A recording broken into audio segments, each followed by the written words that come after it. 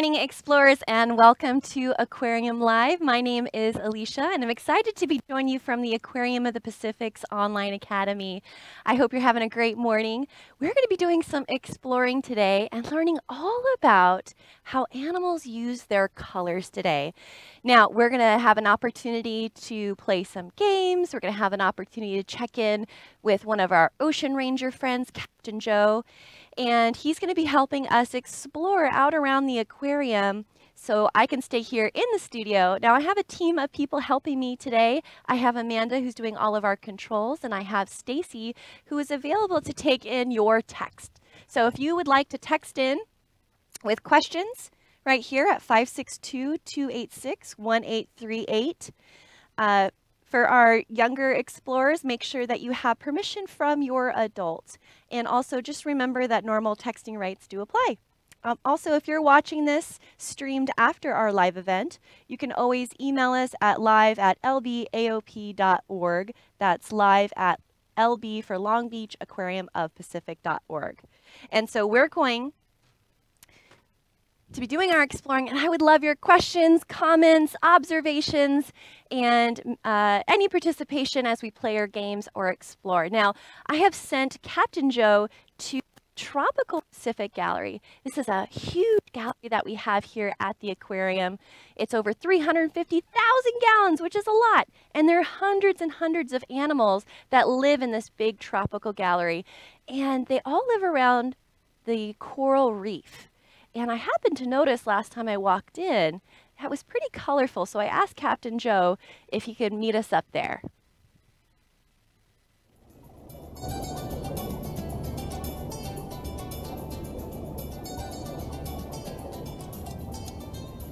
Oh, hey, Captain Joe, what are you doing? Uh, are, are you swimming? Why, hello there, boys and girls. It's Captain Joe here, and yes, as a matter of fact, I am swimming underneath water right now inside the tropical galley. I've finally mastered my technique of underwater breathing, just like my idol, the harbor seal. Uh, Captain Joe, I don't think you could be talking underwater. Doesn't matter. Um. Anyways, let's just go ahead and observe some fish. Uh, okay, okay, sounds like a plan. Oh, wow. Whoa, look at that eel! Oh, hi, Captain Joe. Hey. Uh, oh, string. She must be able to hold her breath underneath water as well. I what that is. I, I, Captain Joe, I don't think you're underwater at, at all. Yeah. All right, you caught me.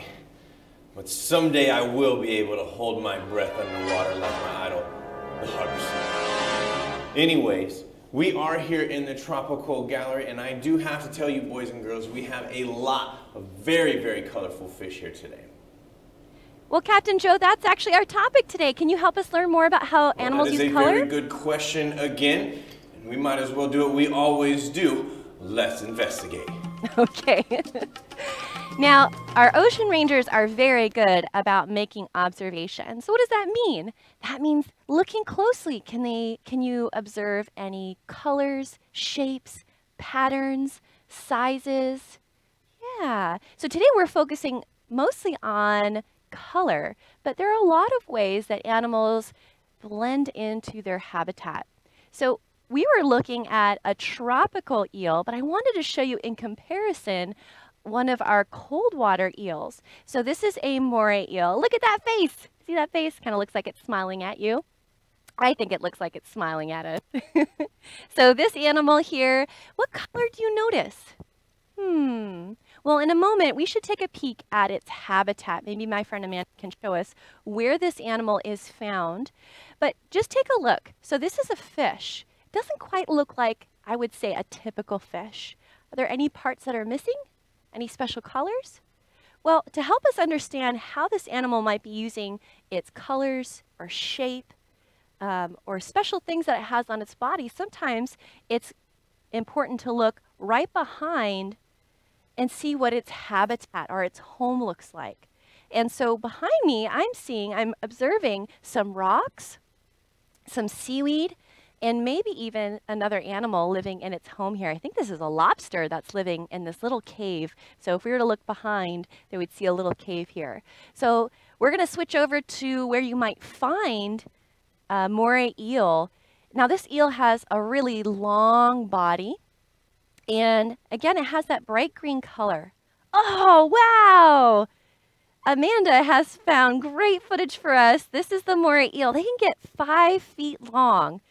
And I am five and a half feet tall. So if I were to lay down, it would just be a little bit shorter than me. And so this is a this is a, actually a large animal that comes out at night to hunt along the kelp forest. So this is a kelp forest habitat. And there are lots of little nooks and crannies down here. Now, if you have a long shape, and you don't have fins sticking out the side, it's a little bit easier. Also, look at the color that we just saw. That color is very similar to some of our seaweed. Actually, look, kind of blending in in the back. You know, if the eel had chosen to hide, we probably wouldn't be able to see. Now, we have already had a question come in from Benjamin. How many ocean animals camouflage. Thank you so much, Benjamin, for introducing that word for us today. So when an animal is able to blend in, we call that, the science word for that is camouflage. Can you shout that out? Camouflage! So being able to blend in is a really cool adaptation, a way that they survive in their habitat. And again, this is an example of a habitat. And there's an example of an animal like the eel using its color to blend in.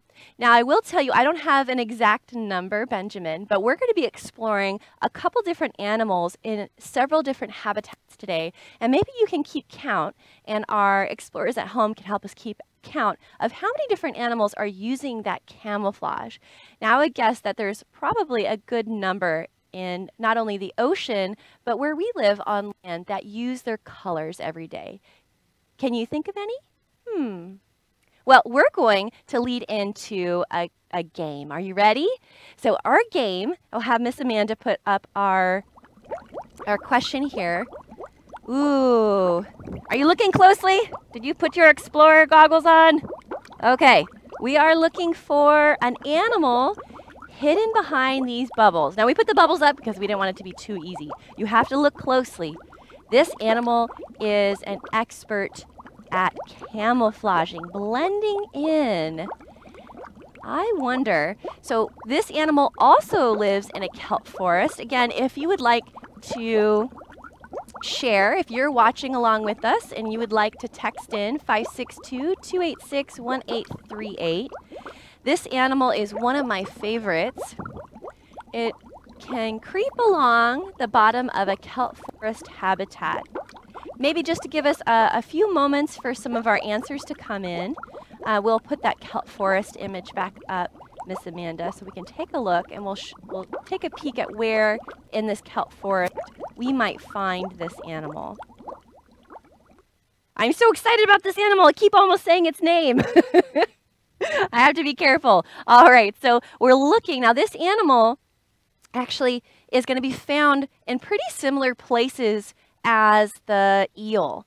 It's going to be found along the rocks, and in fact, it can go very, very shallow as well, even along the tide pool. So you can find it as deep as this kelp forest, which kelp forests are can be up to maybe like 100 feet down, so there's still enough sunlight coming down. And that's important too. If you're using all these colors, you have to be able to see these colors to camouflage. Um, but it also, if you're if you're down here, there's also some big shadowy areas, and we'll have to consider that when we think about blending in. All right, did you get a chance to think about some of the animal possibilities? All right, Miss Amanda. Oh, Gage says a two-spot octopus. And we have Alex, Aria, and Ender. And I'm sure there's lots of other explorers who have also guessed. Let's go ahead and reveal. Yay! Not only octopus, but I think some of you have been watching enough of our shows to know that it's a two-spot octopus. Very good. So this is an animal that we, we, I say we, there's a lot of us here that are really um, just fascinated by the octopus. Now, if you're looking close, you'll see not only has the octopus, let's see, there's its eyes. It has one, two eyes. Now, it's put together differently than us. So its eyes are here. Its brain is right in the middle. It's like the shape of a donut, which is pretty cool. And then all of its all of its organs are right here in what we call the mantle. So it's like having our organs up here, our brain and our eyes, and then all of our, what we call our appendages. So these are the eight arms. And you can see this little spot. Now, if this octopus wanted to stop camouflaging and use its color to talk to another octopus, or even last minute, if it wanted to try to scare something chasing it, it could actually uh, flash this circle color to look like a big eye. It has one on the other side as well, which is pretty cool. All right, so Gage asked, do animals hide in the kelp leaves? That is a great question, Gage. Yes, there is a, I can think of a fish right now called a kelp fish.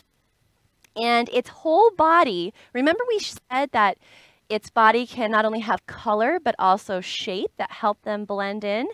Well, it has a body shape very similar to a blade. These things right here, for everyone else who, who's watching, um, the, these parts, I think I have my kelp down here. This is my model kelp. It's quite big. Its shape, oh, hello, giant sea bass is this is just like this blade of kelp. So it would have a little face down here, has its little fins, and even its tail, and has the same color. So you should look it up, the kelp fish.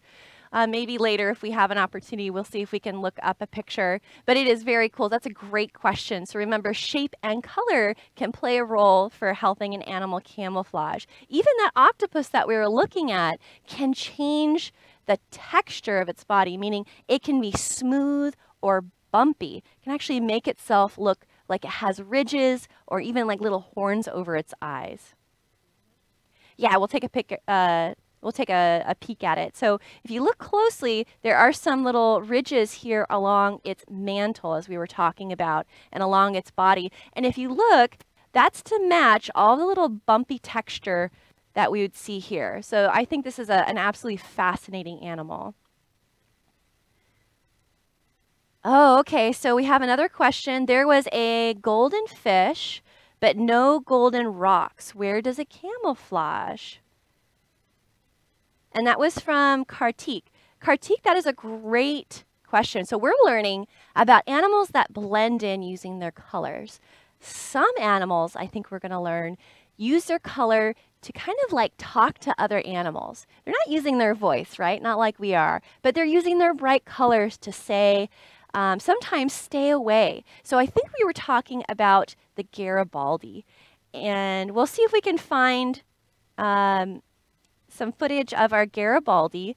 So in this space that has a lot of kind of these muted colors, right? These browns, and it's very pretty, but it's browns and greens and various shades of greens. And you're right, some of it can be a little bit more golden.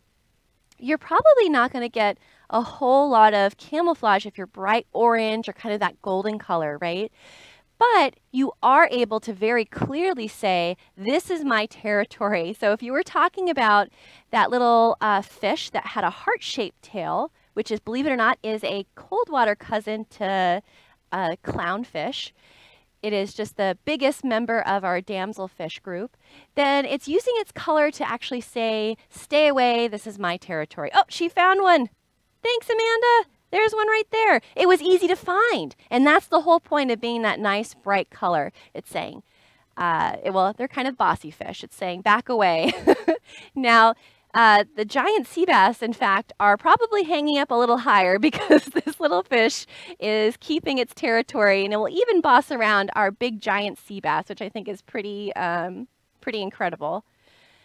Uh, Ronan asked, do animals use camouflage to help them catch prey. Ooh, explorers, what do you think? Do you think being able to blend in might help an, an animal catch its food? Yeah, that is an Excellent question. I wonder if you can think of some examples, explorers, of animals that can blend in to help them catch their prey. Well, I think we might be able to touch base with Captain Joe and see if there are any examples of this. That's a very great um, segue. So I think let's go ahead and check in with Captain Joe. Captain Joe, what are you doing? Girls, I'm here at the Tropical Gallery observing, hiding out using camouflage. What I found out is that these animals have many different colors and they use them for many different reasons. So, let's go observe and find out more.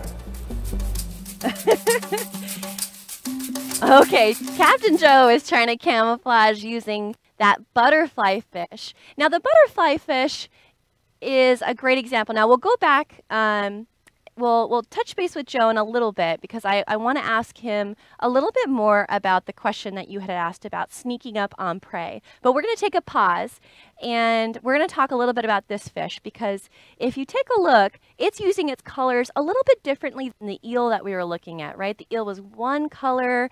It was camouflaging kind of in those rocks and kelp that are also one color.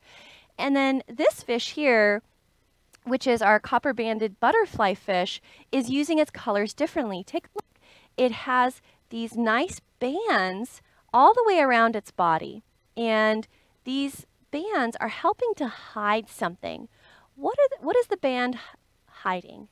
Can you see? Yeah, you guessed its eye. Its eye is right here. So it's hiding its true eye and it's trying to highlight this fake eye in the back. So sometimes animals will use colors to trick other animals, which is super cool. So instead of trying to camouflage in um, completely, sometimes they use their colors to either break up their, their shape, so we call that disruptive coloration, so it's a little harder to see the animal, or they will try to fake out a predator. Now, how does this work?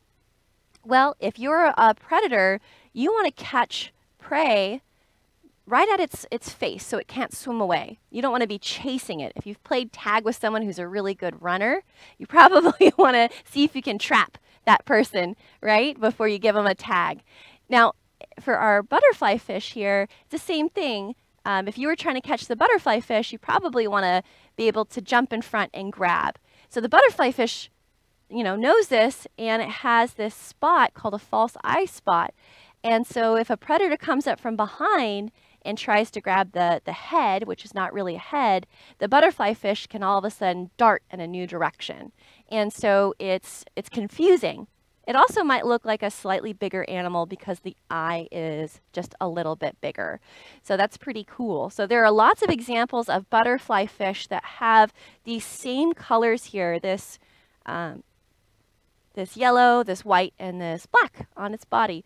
Also something to notice, you can always learn a little bit by where an animal's mouth is and how it's shaped. Look at that tiny little mouth. So this animal lives in the coral reef and uh, maybe we'll take a moment and just take a peek into that coral reef habitat when Amanda has a, a chance. And then I'll answer a few questions as we're watching. Whoa, take a look. So this is where we can find the copper-banded butterfly fish. You can see there are a lot of animals that are using bright colors to help them. All right, Luke asked, what do Garibaldi eat? That's a great question, Luke. So Garibaldi like to eat little things that pass them. They will eat anything when they're smaller from little plankton to smaller fish. Um, they'll eat little, what we call invertebrates like like worms at the bottom. So basically anything that they can kind of pick off the bottom or catch as it passes its territory. So it says, oh, she wrote it in there for me.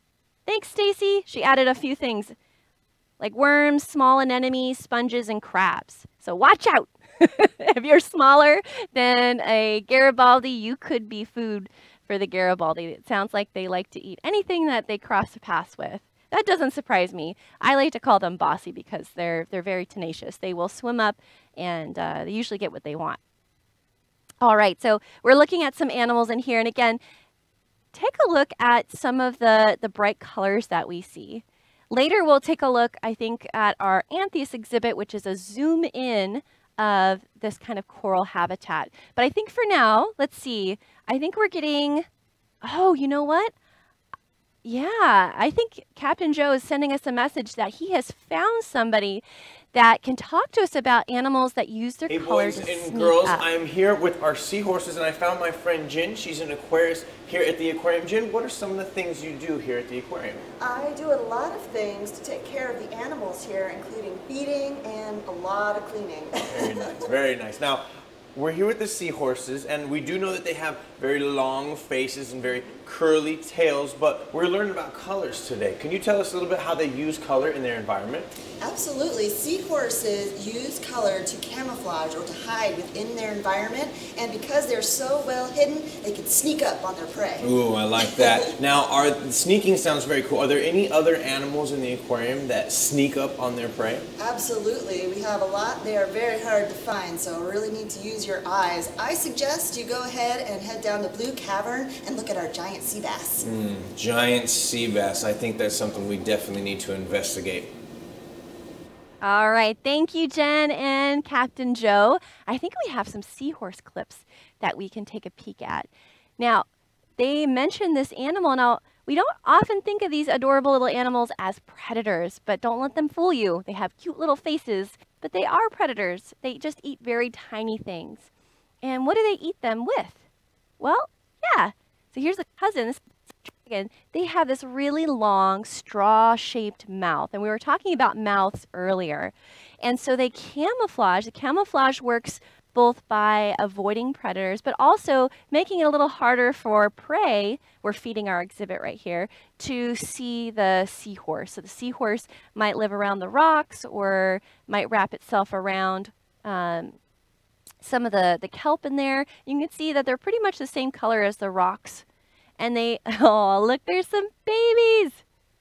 They have those tiny little snouts and it's, it's a really long mouth and it has this little suction at the end. So they'll just be drifting along. You're like, oh, how cute. And all of a sudden, they suck in something. And sometimes it's a lot bigger than you think. like, oh, oh, it disappeared. Uh, it's still cute, but it just ate that huge piece of food. Um, so we've been behind the scenes a couple times, and I was always surprised at what they can just slurp in. so they um, they're pretty cute. So London asked, do fish have hearts? Wow, great question. They do have hearts. Their hearts are a little bit different than ours. Um, they have four parts to their, their heart, um, and it helps move the oxygen that they're taking from the water around them. And how do they do that? Well, they have gills. So fish have gills. That's what one of the the characteristics that make fish a fish. And those gills help take those tiny little bubbles of oxygen from the water. And then that heart helps move that through their systems so that their bodies um, have all of that oxygen. All right, so we're going to do a puzzle. Are you ready? I'm going to put our number up one more time just in case you would like to participate, but you can always just shout out your answers. You can tell a friend, you can write it down, uh, but our text is 562 286 1838 if you would like to participate with us. All right, Miss Amanda, let's go ahead and show them our puzzle.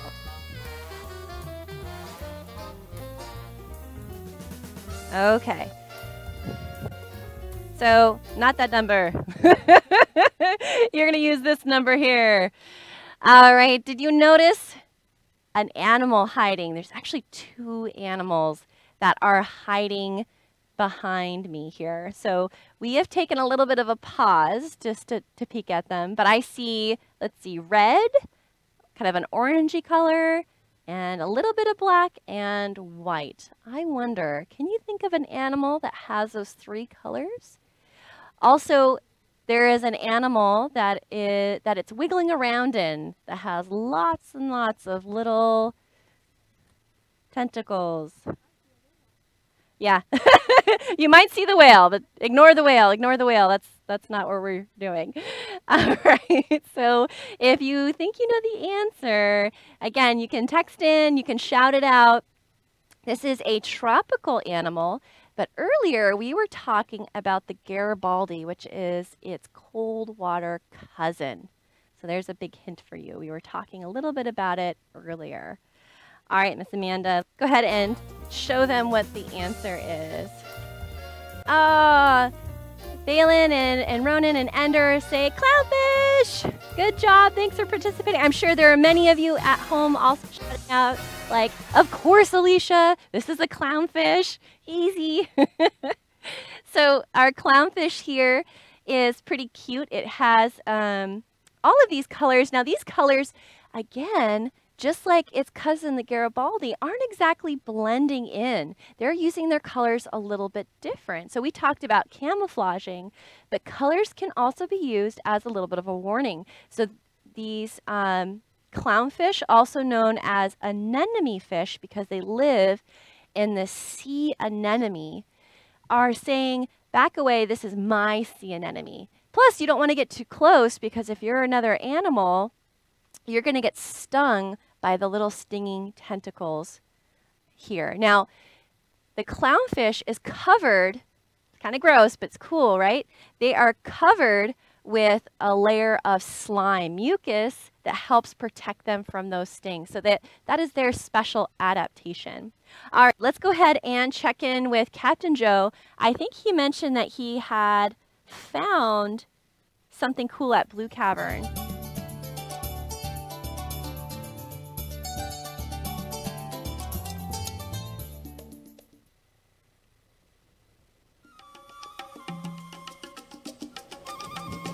Uh, uh, Cap Captain Joe, what are you doing? Oh, sorry.